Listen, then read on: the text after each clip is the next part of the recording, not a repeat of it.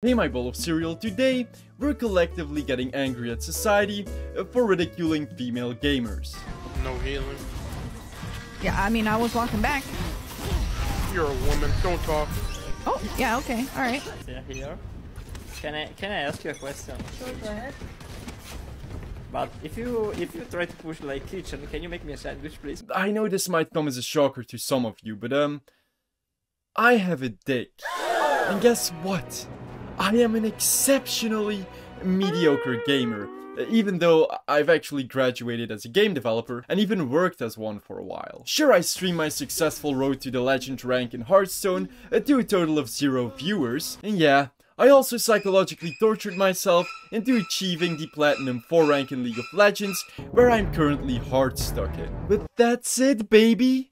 Even though it took so much effort, that is my peak in gaming. And I accepted that, after many emotional crying sessions in the shower. So there are tons of women that are obviously better at gaming than I or many other guys are.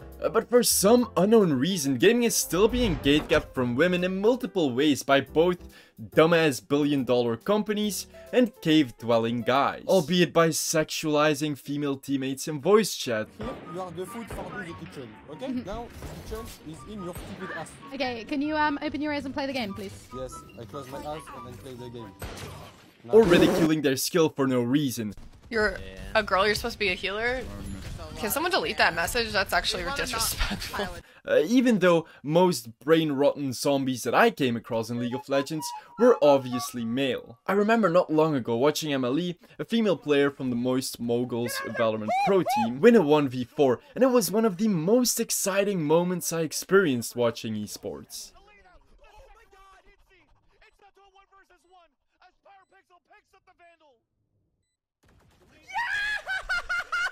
I was on the edge of my seat, baby, being excited for Moist Moguls to win and ecstatic that esports is finally getting less and less gatekept from women. And I guess that YouTube held a personal grudge against me because they just couldn't wait to ruin all of that excitement uh, by recommending me a clip from my most hated streamer IShowSpeed, where he trash talks a Valorant player for the sole reason of being a girl. Can't stand playing with shitty females like you. Leave the fucking match. Leave the match. Leave the match. Leave. I can't fucking stand shitty fucking females like you that think they fucking good at games. Take, take your ass to goddamn fucking Sims Club or some shit. Get the fuck off Valorant. Fuck is wrong with you? Yo, I heard there's a woman in this game. That shit needs to stop. right Exactly, exactly. Now, whenever I see IShowSpeed, I get naturally pissed off. Maybe it's because of him getting away with trying to scam his infantile following, even though he was already rich at the time. Bro, they're, still, they're spending hell stealing. Or his weird ass rape threats against a female co-streamer. Say if we the last two people on Earth and we had to reproduce to make the world continue, would you uh reproduce with me? No, because that means our kids will have to intertwine, and then their kids. No, Who gonna stop me? I will. Who's gonna stop me? I will. If we the last two people on Earth, who gonna stop me? Oh, and how could I forget his blatant racism against Asian people? Why you got on Argentina, bro?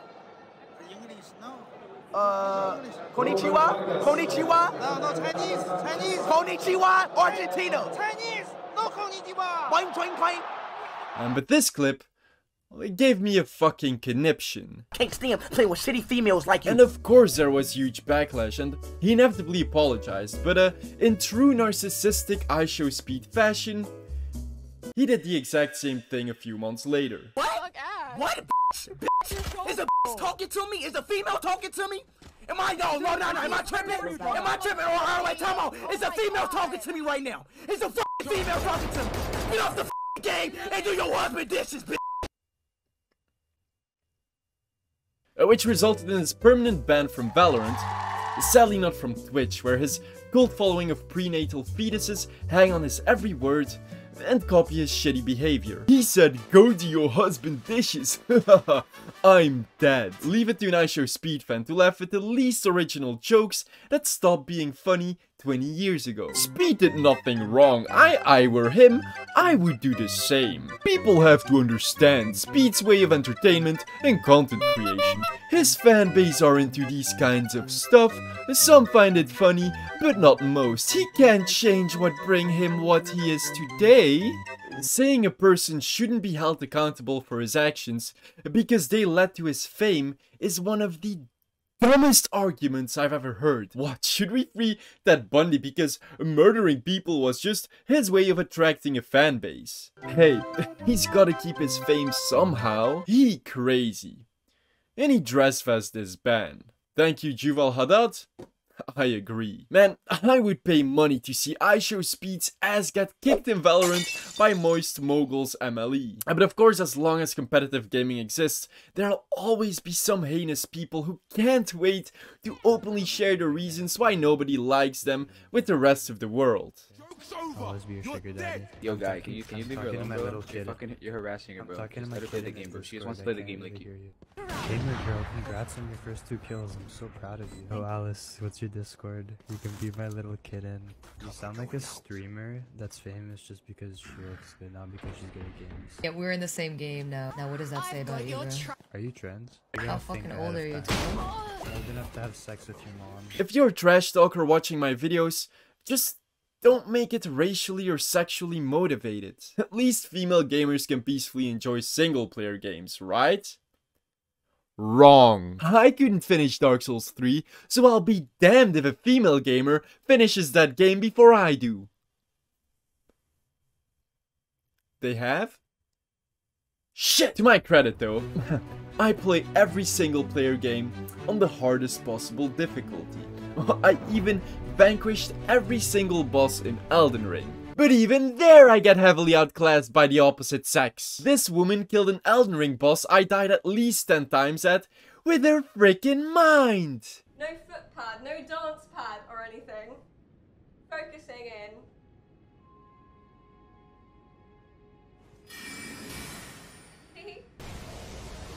and again.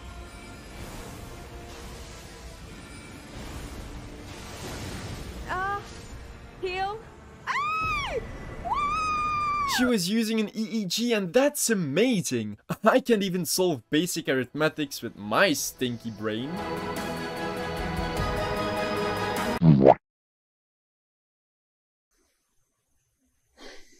Now guess what the top comments to this clip are. I mean, they must be congratulating her for this insane achievement. That's cap. Biggest cap I ever did see. Lies. Boyfriend off screen. Yeah, I call scam. There's no way she figured this out on her own. Yeah, see, as a dinky woman, she needed a guy to explain to her how to, um, formulate thoughts, because that's basically how you send signals through an EEG. But we all know that women can't use technology. or their brains. It's not like the first ever computer programmer was a woman. Right, guys? She was? Man, I thought I was the first computer programmer. An EEG device costs around 1000 US dollars. I'd say it's very unlikely to own one if you're not a doctor that specializes in neurology. And if you work in that field, it is unlikely you waste expensive equipment on games. Do I really have to explain why this is one of the dumbest statements you could make? In a world where people spend thousands of dollars on shoes. Is it so unbelievable that someone would spend $1,000 on an innovative piece of technology? No one falsely accused the guy who finished every single Souls game back to back without taking any damage, which by the way is extraordinary uh, for using hacks, because it was an amazing achievement. And he should be applauded for it. But why is everyone asking questions when the person behind the screen happens to have boobs? Now, where there's injustice, there are soulless, predatory, billion dollar companies trying to tell us low-life peasants how to live our lives by creating the worst possible advertisement one could come up with. Which brings me to the actual reason I thought of making this video. See, Dove, the beauty company that's um, synonymous with gaming and not with generic shampoo products or even child labor, had a few words to say about the unrealistically unhealthy female beauty standard that they created in the first place. See, they released one of the most tone deaf and insulting advertisements toward female gamers that made even Dhar Mann's videos on the topic seem like Oscar worthy material. Because I want to be a girl gamer. It's just gamer. What do you mean? You don't call guys boy gamers, right? So no need to say girl gamers. It's just gamer. Dove takes a stand against overly sexualized women in video games, eliminating stereotypes and to build young players' self-esteem and body confidence.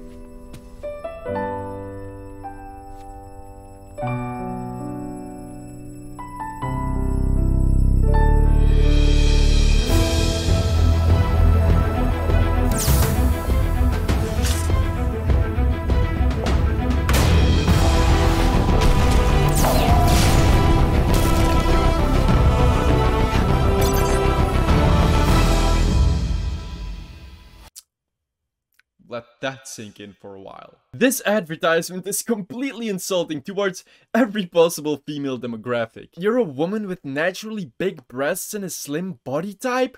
How dare you! Shame on you! As a female gamer, we expect you to lay back in your chair, wear stinky socks, and dirty clothing.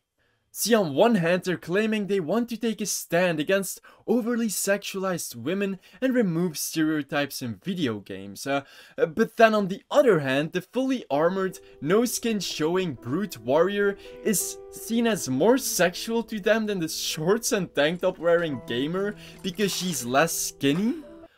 Why is that, Dove? It kinda seems like a stereotype to me. I feel like all they're doing in this video is reinforcing their uh, unrealistic self-created beauty standards. And the best of all is that they cared so much for their empowering and positive message that from the moment they started receiving negative backlash, they removed their tag from the viral tweet.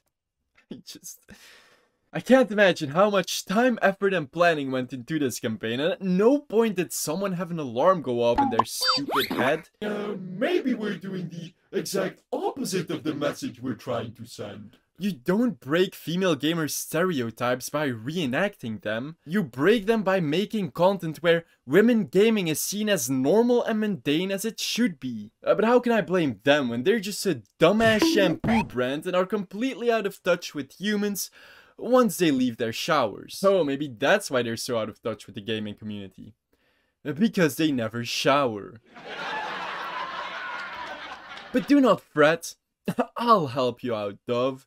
See, what you should have done is have an average woman step out of the shower, then have a friend call and ask her if she'd like to go out to a party, with her responding like, No, Tara, I do not want to get shit-faced, wake up in a random bed without my wallet, and have a newly set drunken tattoo of a cereal bowl on my butt.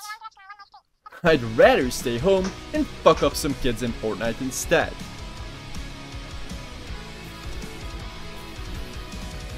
Yes, Dove, you can hire me as your next ad campaign writer. Uh, you can contact me on Instagram, uh, Gipsy Cereal, uh, which now that I mention it, uh, Instagram is this new app I made myself, but I'm currently its only user, uh, so please go follow me, because it's lonely over there. It's 2023, can we please stop linking someone's gender or sex with their hobbies and interests? If you enjoyed this video and would like to see more content like this, let me know in the comments. And of course subscribe to my YouTube channel to become part of my cereal bowl so I can absorb all of your fibers and nutrients. I'm really busy with college deadlines and finals and it's been really stressful, but after those are done, I'll finally be able to focus entirely on YouTube, finish that channel banner, uh, AMA video, and I've got a few other surprises up my sleeve. And before you ask, yes, some of them are Nicolas Cage themed.